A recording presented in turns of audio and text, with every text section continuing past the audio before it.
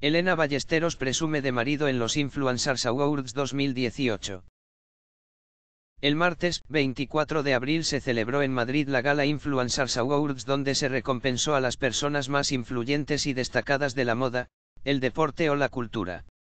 Al festejo acudieron muchas de las celebrities del momento en nuestro país como son Mónica Hoyos, Agatha Ruiz de la Prada o los Yavis, entre otros. Pero sin duda alguna, el momento más interesante lo protagonizó la actriz Elena Ballesteros. Agatha Ruiz de la Prada está radiante y feliz.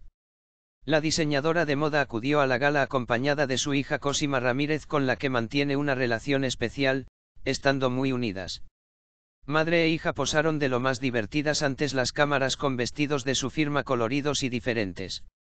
La creadora se encuentra en un momento muy interesante de su vida.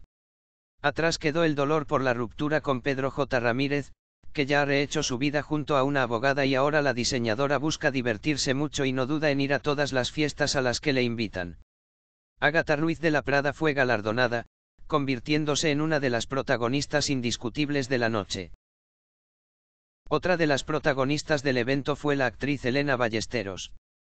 La española acudió a la gala de premios del brazo de su nuevo amor, Juan Antonio Susarte con el que contrajo matrimonio el pasado mes de julio.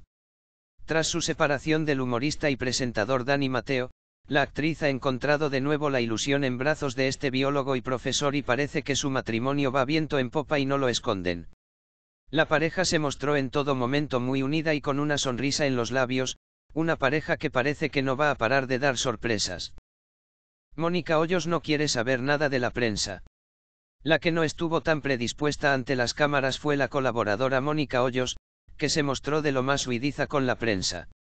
La expareja de Carlos Lozano posó en el Potocal aunque después no quiso atender a la prensa tras la polémica que se ha formado en torno a ella, el padre de su hija y la exnovia del presentador.